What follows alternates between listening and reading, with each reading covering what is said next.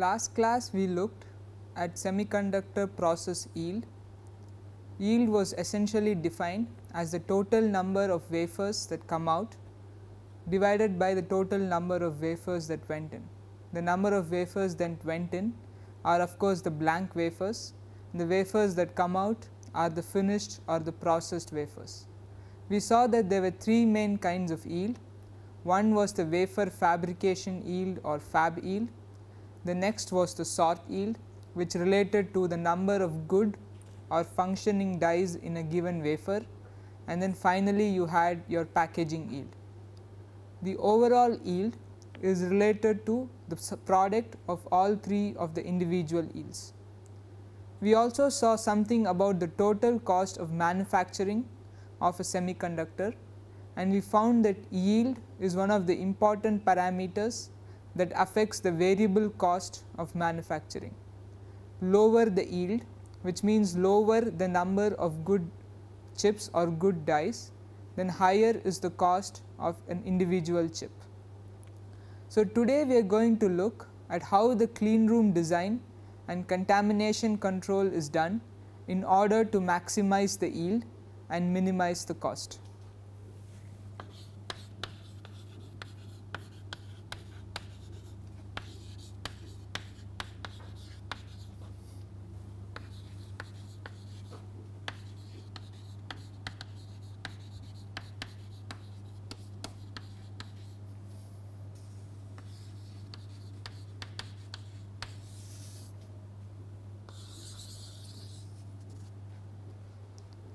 So, one of the most important factors that affects the yield in a fab is the wafer contamination which is why we essentially go for a clean room. Now, this is especially important because we see that device dimensions are essentially shrinking.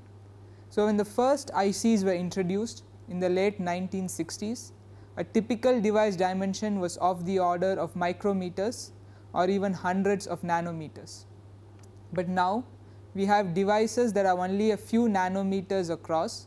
So, that even contamination of the order of nanometers can essentially affect the device.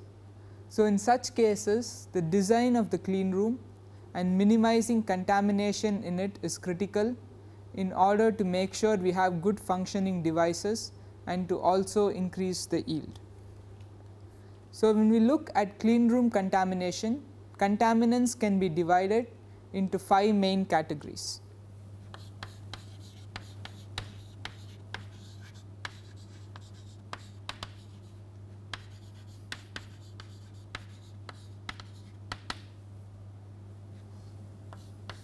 So, the first one is particles, then we have metal ions, and we will see the role of each of them briefly. Then we have chemicals, so the process chemicals that are used, bacteria, and then finally something called airborne molecular contaminants or AMCs.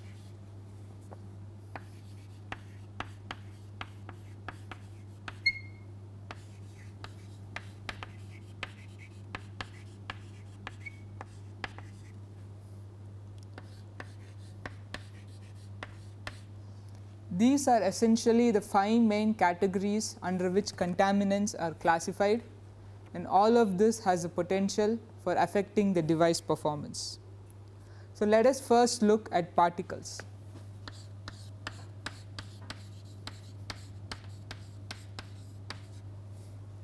So, we saw that in the case of semiconductors we have device dimensions that are of the order of nanometers.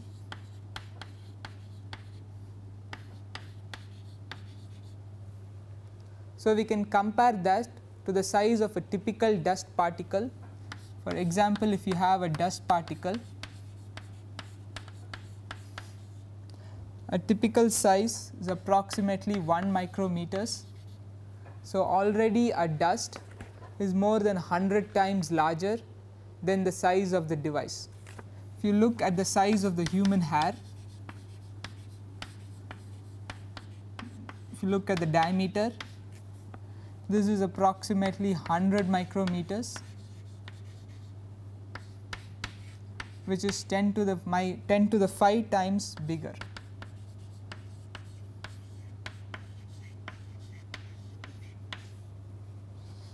So, the idea being that even small dust particles have essentially sizes that are much larger than the device dimensions. So, any of these contaminants can essentially affect a device. So, what are some of the sources of particles in the case of a fab?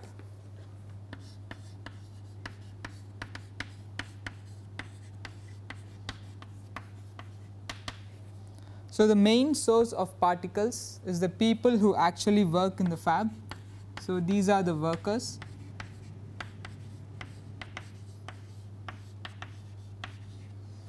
This is one of the reason that special suits are worn by people working in the fab in order to minimize any particle sources. You can also have particles that are generated by the equipment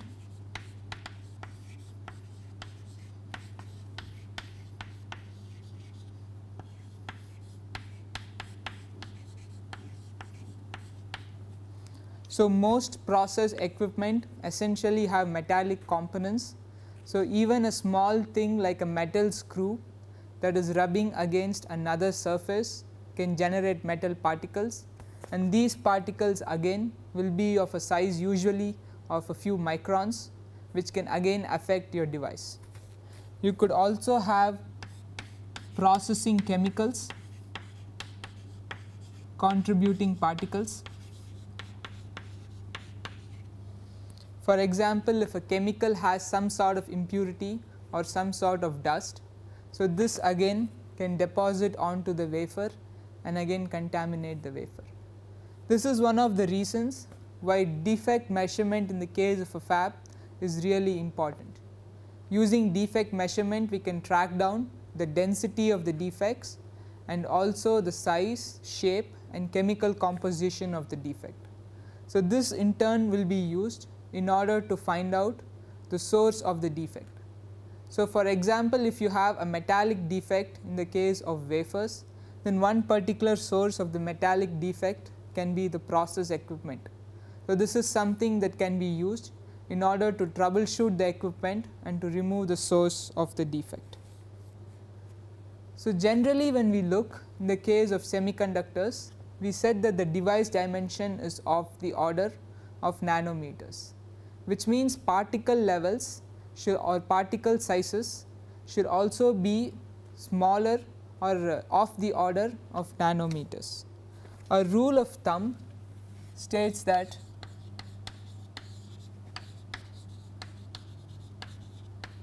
the acceptable particle size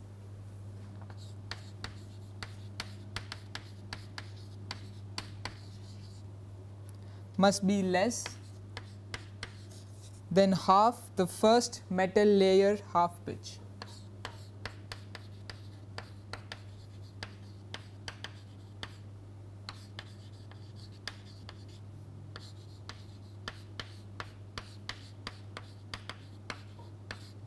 So, this sort of gives you the minimum size of the particles that have to be detected and have to be controlled.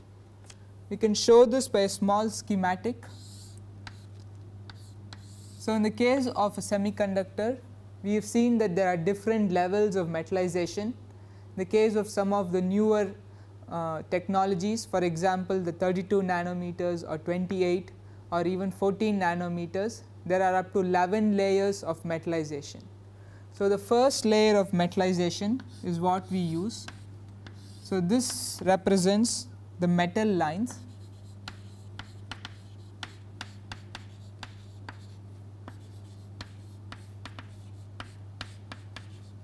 The first layer of metallization is usually the highest density and as you go up the density of the metal lines reduces and the size of the individual metal lines will also increase. So, the distance between the center of the metal lines and the metal line itself is your half pitch.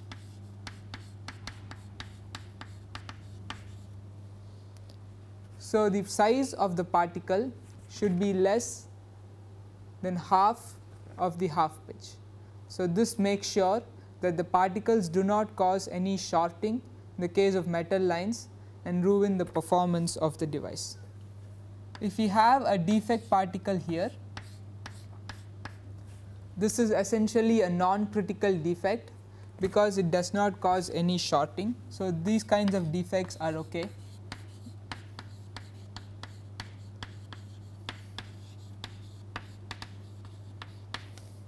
But a defect that essentially bridges two particles can cause an electrical short. So, this becomes your killer defect. So, not only the defect size matters, but also the location of the defects. So, with reducing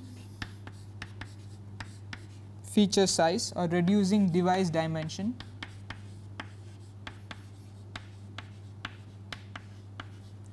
the size of the defect or the size of the killer defect will also reduce.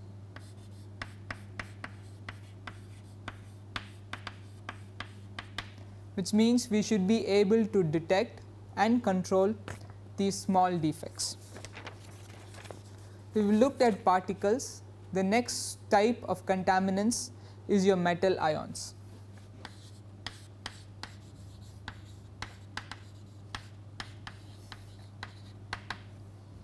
So, why are metal ions bad? The reason being of course, they are metals. So, they have some sort of an electrical property which can affect the electrical property of the device. Because you are essentially building an electronic device and we saw that the typical dopant concentration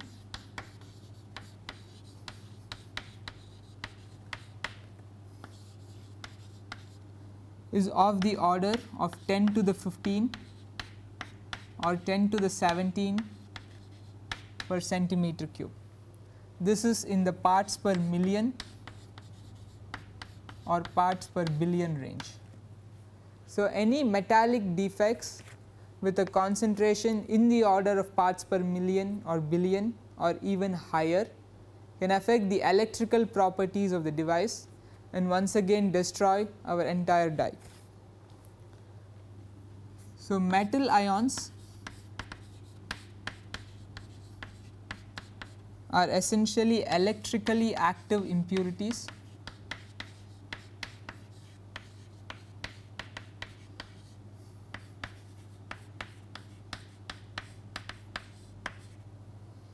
Another name for them is the mobile ion contaminant or MIC.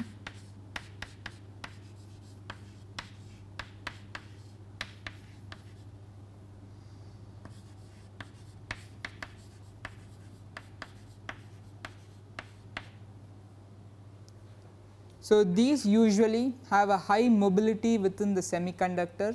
So, they can basically bury deep into the semiconductor and affect the properties. So, a most common form of a mobile ion contaminant is sodium. Sodium is usually present in some of the process chemicals that are used for IC fabrication. So, they essentially have a chemical source and even a sodium concentration as low as 10 to the 10 atoms per unit area can affect your device and cause its electrical performance to degrade. So, for, for use in the IC industry,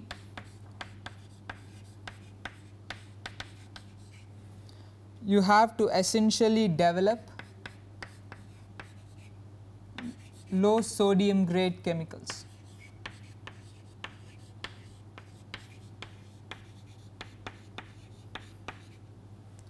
So, the regular purity of chemicals that are routinely used in other areas is actually not sufficient for the IC industry. So, we specifically need chemicals that have a low concentration of metal ions in order to reduce any contamination due to the metal ions. So, the next classification of contaminants are your process chemicals.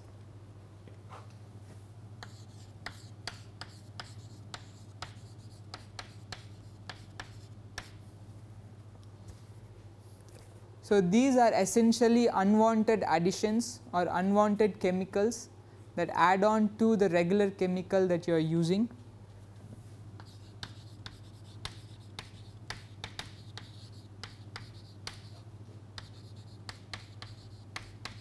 So, these essentially act as impurities to the chemicals that are used in the IC fabrication.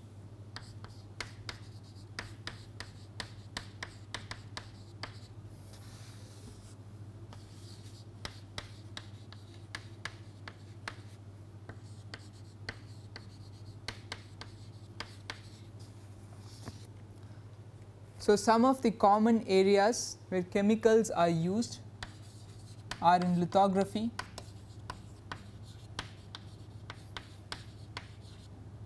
where we use photoresist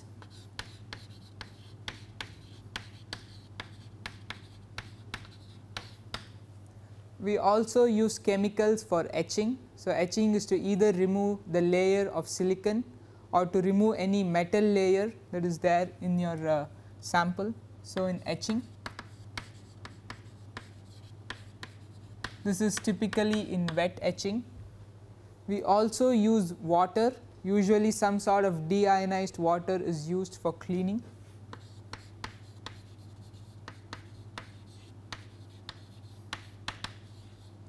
So, in all of these areas any impurities to the chemicals that are used can again affect the, the quality of the device and can again degrade the device performance and affect the yield. In the case of chemicals, chlorine is usually the most common contaminant.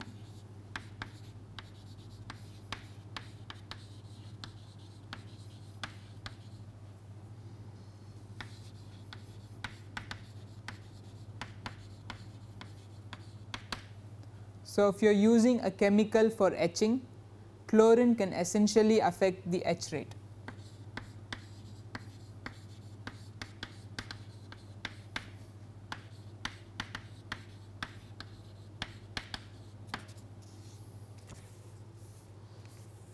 Bacteria is another type of contaminant.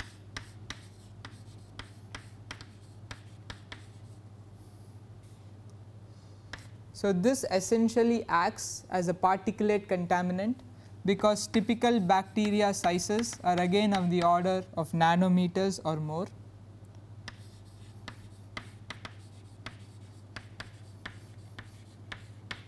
Bacteria are also the source of metallic ions something like sodium or potassium. So, they can also act as a mobile ionic contaminant. So, MICs. The last type is your airborne molecular contaminant or AMCs.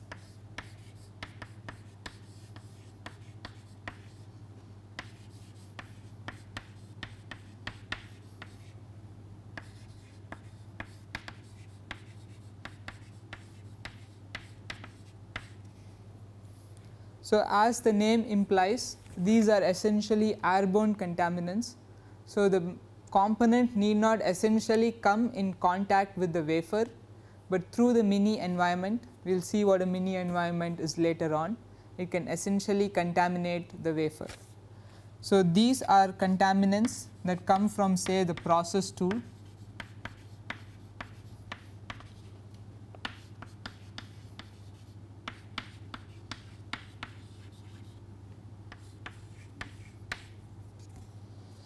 they could be from the chemical delivery system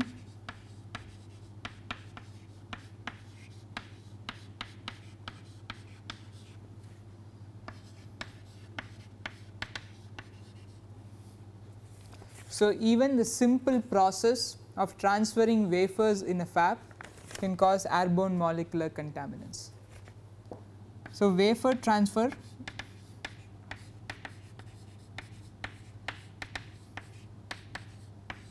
in the fab. So, in most commercial fabs wafers are not transferred by hand. So, because these are essentially 12 inch wafers and they are typically transported in boxes of 25. So, these are transported in special plastic containers called FOUPs.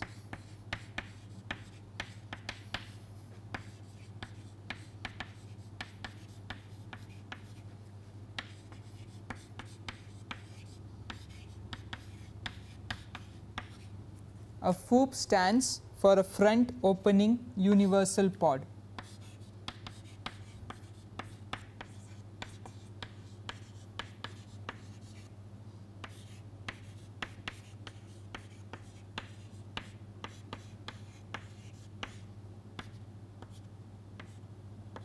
So, it is an acronym for a front opening universal pod. So, wafers are essentially stored and transported in these FOUPs but once again these are plastic containers. So, any outgassing in them can cause airborne contaminants. So, which can again affect the wafers. So, if wafers are stored for a long time in these FOUPs then you will find that there will be some sort of contaminants on the surface. Not all of these will be killer defects or killer contaminants, but some of them have the potential to be killer defects. So, usually some sort of a nitrogen purging is done in order to minimize contamination, but this can cause additional issues with the purity of nitrogen. So, the point is there are different types of contaminants for wafers in the fab and all of these have to be minimized in order to improve the yield of the wafers. So, what does contamination essentially affect? So, we look at some of the issues of contamination.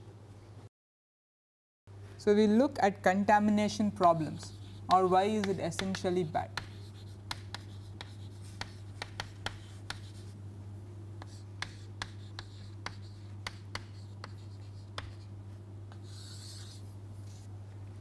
So, the presence of contaminants in your device can have three major effects.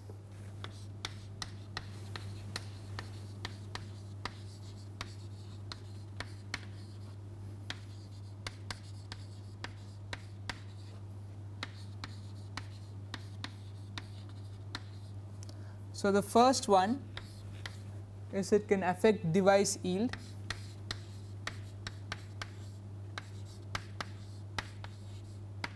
This is straightforward, it can basically lead to the failure of the die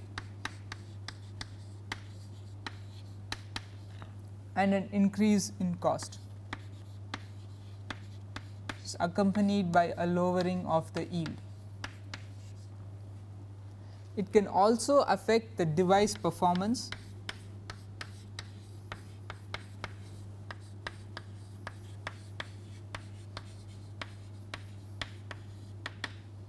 So, in this case it is leads to a lowering of the performance of the device.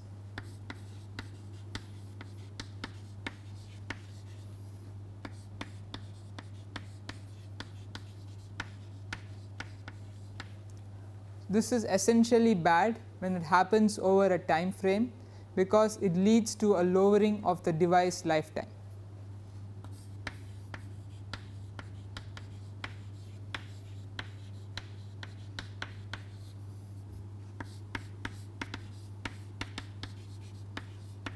So, this is harder to detect than a device yield because failure has not occurred, but the device does not perform at its optimum value. So, usually some sort of electrical testing can be done in order to measure device performance. So, this also can be measured and taken into account. But the most pernicious problem due to contamination is when it affects device reliability. So, these are essentially hidden defects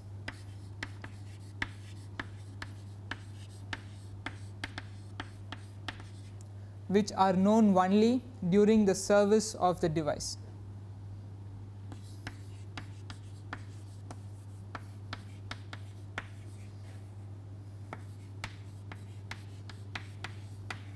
They are much harder to detect because the device still works. So, yield is not an issue and the same time any electrical testing will also not show up these kinds of contaminants, but during the service of the device when the device is in operation can essentially cause failure. A common example of a defect that causes a device reliability failure is the mobile ionic contaminant MICs.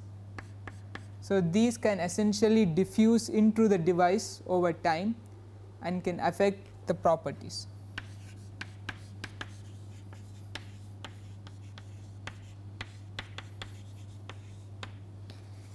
So, we have seen the types of contaminants, we have also seen the typical problems that arise due to contaminants. So, next we need to look at some of the sources of contaminants and how to eliminate this.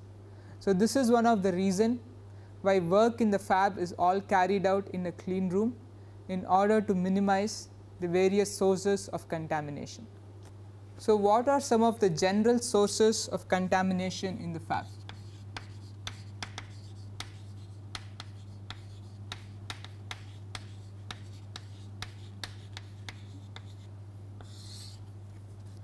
The first of course is the fab air or the fab atmosphere.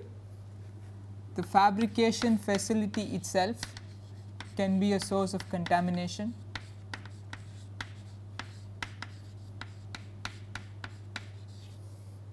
The clean room personnel, so people who work in the clean room would be a source of contamination.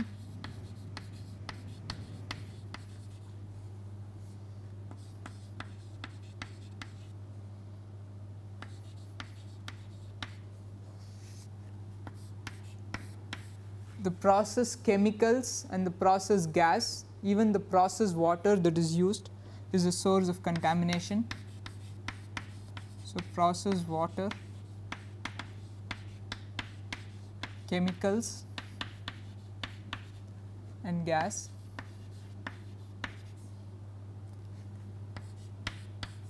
Static charge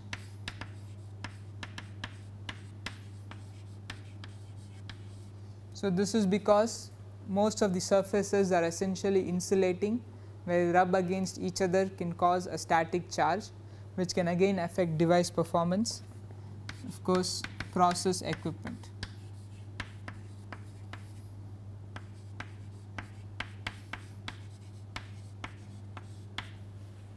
So, to minimize the contamination due to the first three which is the uh, fab air or the fab atmosphere, the fabrication facility and the clean room personnel, we essentially go for a clean room for semiconductor manufacturing.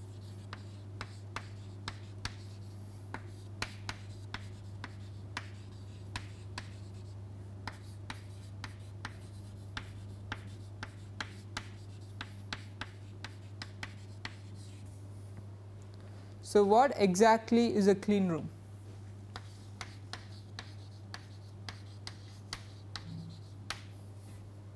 So, a clean room is defined as an area with a controlled amount of contamination or a controlled level of contamination.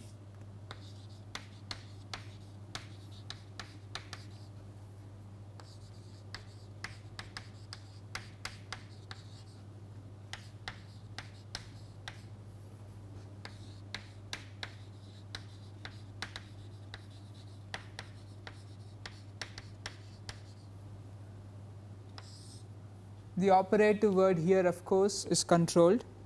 So, this is usually specified by telling the number of particles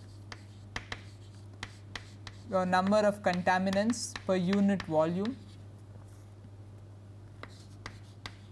So, this could be meter cube or feet cube at a specific particle size.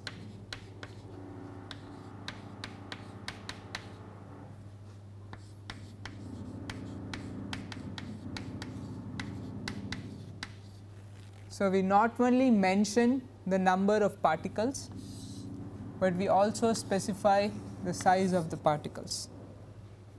So, remember with increase in IC technology, we have smaller and smaller particles because we have smaller and smaller device dimensions. So, we need to have contamination or the defect sizes should be of the order of nanometers. There are different standards. The most stand common standard is the ISO clean room standard.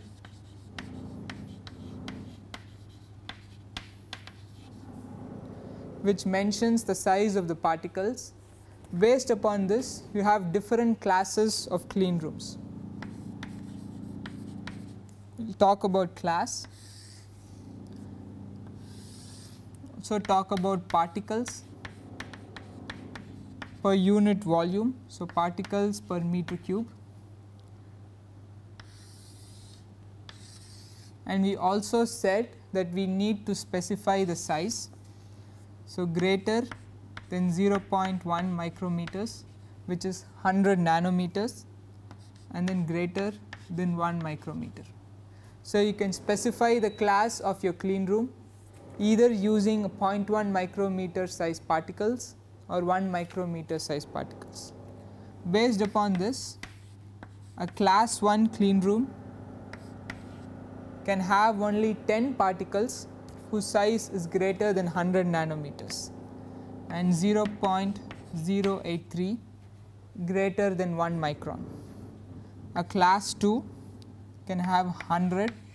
So, this is essentially a log scale 0.83. A class 3 can have a 1000 or 8.3. A class 4 can have 10,000 or 83 and a class 5 is 10 to the 5. So, smaller the class number, so smaller the class number better your clean room cleanliness is because the number of particles is smaller.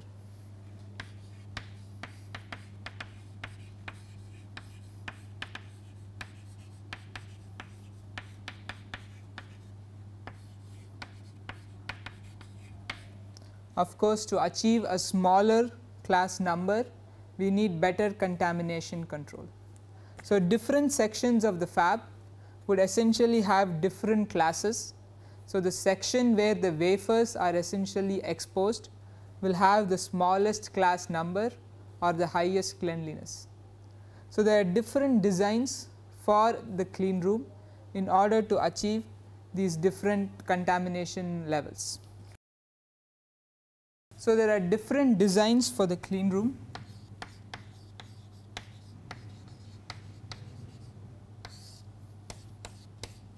The earliest design is called a ballroom design.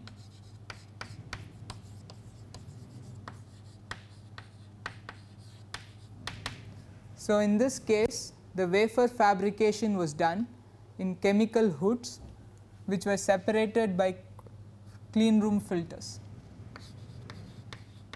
So, hoods were used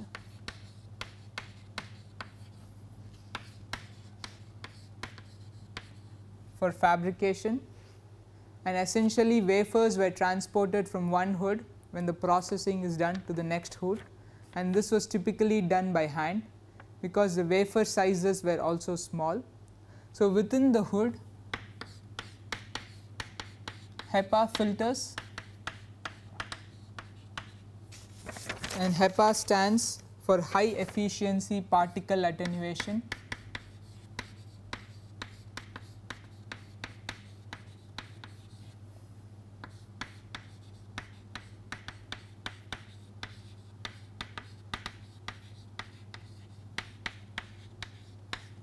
So, HEPA filters were used within the hoods in order to minimize contamination, but usually the device dimensions in this case were of the order of micrometers. So, contaminant sizes were also of the order of micrometers. So, the ballroom design basically gave way to the tunnel and bay concept.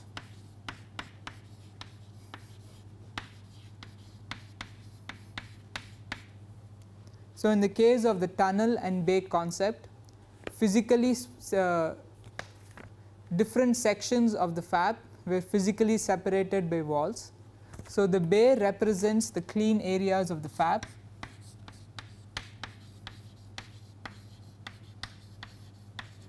and the tunnel represents the area between the bays.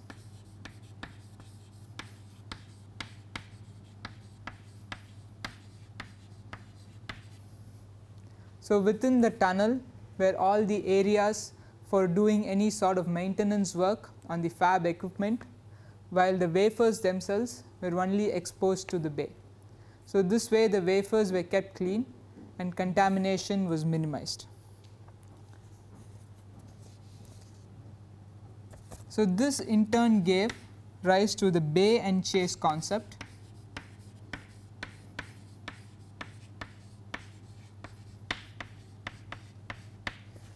This is again based on the ballroom design.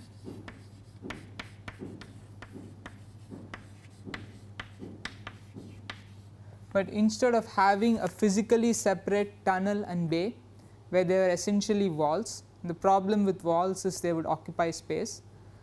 The fab was virtually divided into a bay and a chase.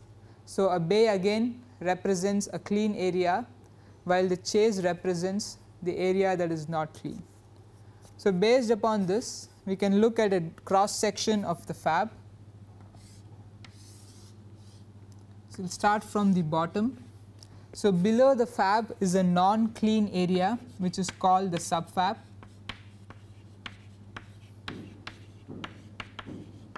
So, the subfab usually has all the areas for the process chemicals that are stored all the cylinders for gas injection or gas supply all of that is stored in the subfab. There is a raised metal floor on which the fab is housed.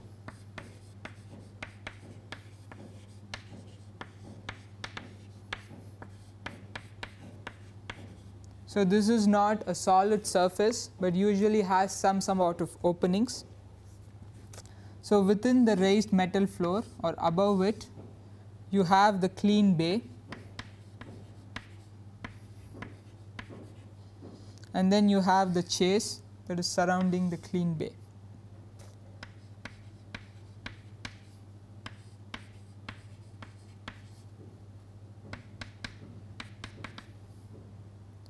Right above the clean bay you have a provision for flowing air through the fab.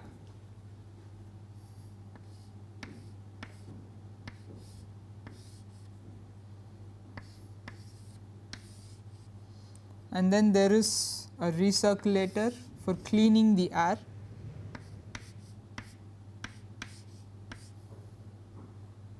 This is the recirculator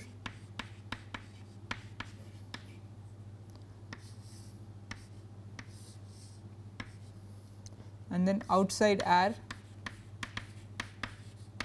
is entered into the fab. So, the air essentially flows down through the clean bay area. So, the air goes down and then gets recirculated through the chase. So, the air flows down through the clean bay. So, any contaminants are essentially blown down through the raised metal floor and then they go back up through the chase and are then taken out through the fab. So, this way without having a physical wall it is possible to maintain the cleanliness in the fab.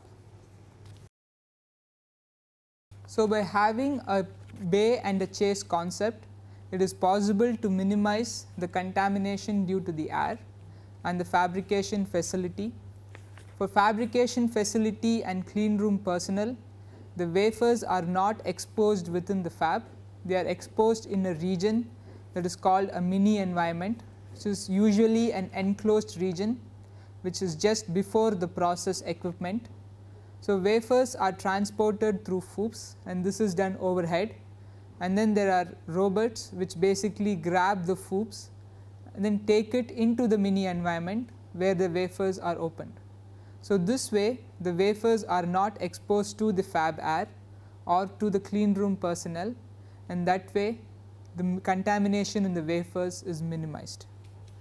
Another contamination source that we saw was the process water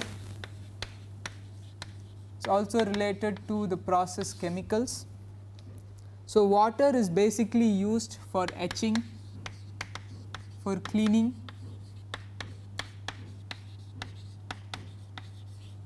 etc. and typically wafers are rinsed many times. So, a normal water source will have dissolved minerals and impurities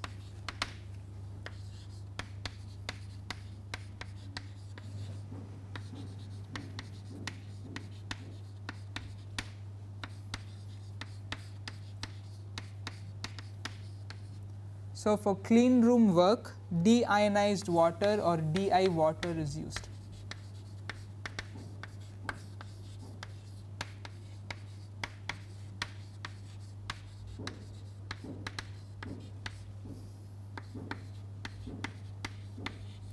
So, this is water that has been removed of all of dissolved minerals or impurities and DI water is usually measured by its resistance. So, higher the resistance of the water purer the value is. Deionized water has a resistivity of 18 mega ohms per centimeter. If you compare that regular water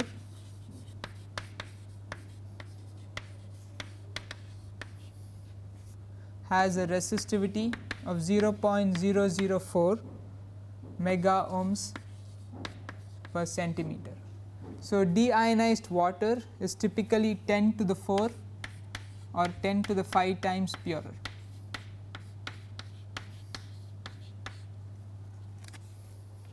We also have process chemicals and we said that any contaminants in the chemicals can lead to uh, contamination of the wafer. So, chemicals that are typically used are acids, bases, solvents, solvents like acetone or ethanol or IPA which is isopropyl alcohol all of these are used. Typical contaminants in them can be metals,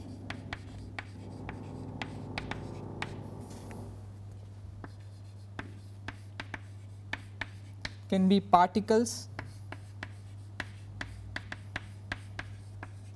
can even be other chemicals.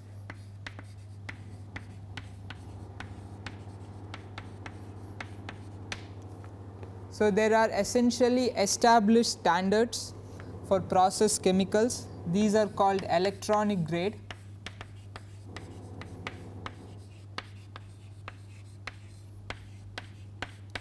or semiconductor grade chemicals.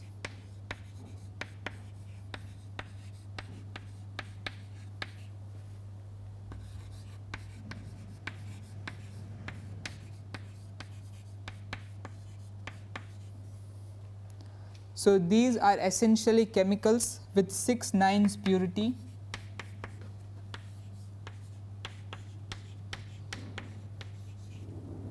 when we say 6 nines is 99 but followed by 6 nines.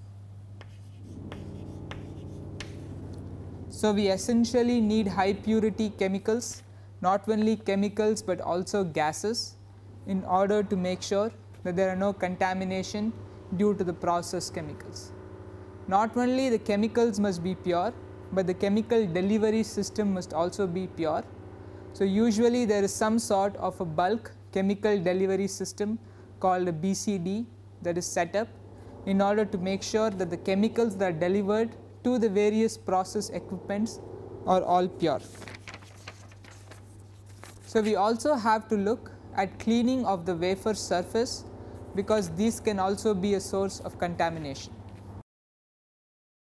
So, clean wafers are essentially needed for each and every step so, the wafer surface has to be cleaned at every step. This again makes sure that the contaminants to the surface are essentially minimum. So, some of the types of contaminations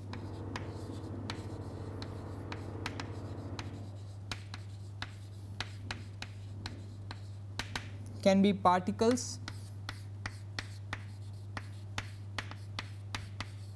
organic residues these essentially come from the chemicals that are used. You can also have inorganic residues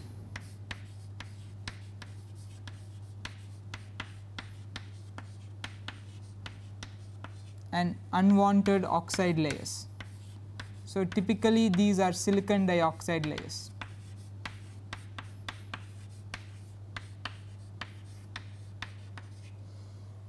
So, we have different cleaning strategies depending upon whether the wafer is located in the front end of the line FEOL which is your front end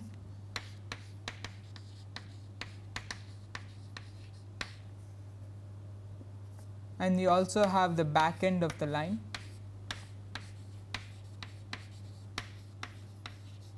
So, we have different cleaning strategies for these different areas. So, in the front end the cleaning should not affect the surface roughness.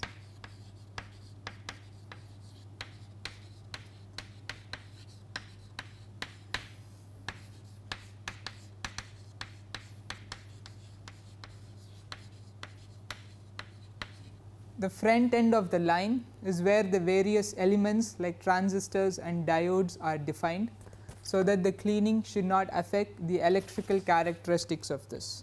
In the back end this is where the electrical and the metal lines are formed. So, electrical shorting is the major concern.